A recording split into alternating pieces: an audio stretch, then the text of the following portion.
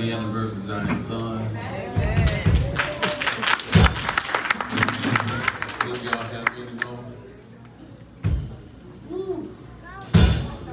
Some y'all just looking so sanctimonious out here.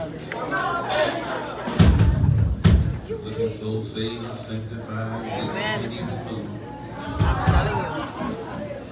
How many in here been saved? Amen.